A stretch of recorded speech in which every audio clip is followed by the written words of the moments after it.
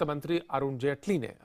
समलैंगिक अधिकारों के समर्थन में वो उतरे हैं और जेटली ने कहा है कि सुप्रीम कोर्ट को आईपीसी की धारा 377 पर फिर से पुनर्विचार करना चाहिए। कार्यक्रम में जेटली ने कहा कि सुप्रीम कोर्ट को समलैंगिकता के मामले में दिल्ली हाई कोर्ट का फैसला नहीं बदलना चाहिए अरुण जेटली ने कहा कि होमोसेक्सुअलिटी पर सुप्रीम कोर्ट का फैसला दुनिया भर में लिए जा रहे कानूनी फैसलों से मेल नहीं खाता है।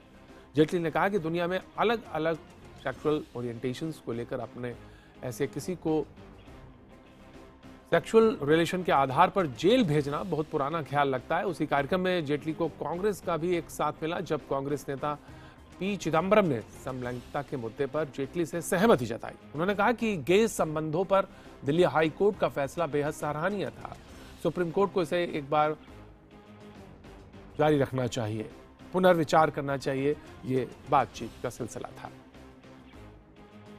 Even in this case in 2014, where the Delhi High Court judgment on uh, gay sex and alternative sexuality,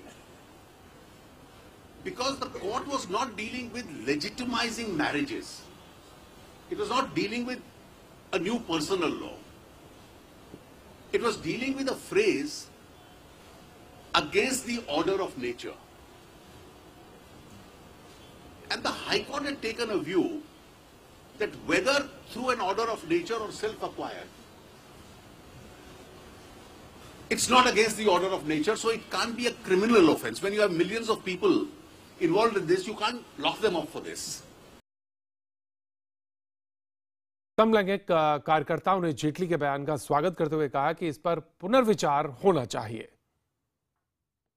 The winter session is going on. I think somewhere the government of India, the central government of India, and all the political parties concerned has to be very sense of responsible in repealing the Section 377. My question is that we are living in 21st century. It's very saddening that it's violating of our, I think, complete fundamental constitutional and of course international declaration of human rights. I think somewhere the government of India should come to the forefront and do that. And of course, Prime Minister is visiting to so many countries. He never spoke about a single word on the Section 377. He never spoke a single word on sexual orientation or gender identity. I think that is very, very disappointing and saddening. Jaitley के बयान पर तमाम राजनीतिक दलों में प्रतिक्रिया देखने को मिली है। आइए देखें क्या कहना है राजनीतिक दलों का। मैं स्वागत करती हूँ कि शायद पहली बार कांग्रेस और बीजेपी एक मत में है आर्टिकल 377 को लेके।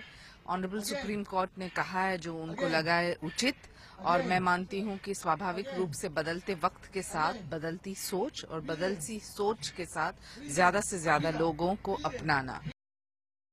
वित्त मंत्री को पूरे मुल्क को नसीहत देने की जगह अपनी सरकार को नसीहत देनी चाहिए और 377 को फौजदारी के कानून से निकाल देना चाहिए।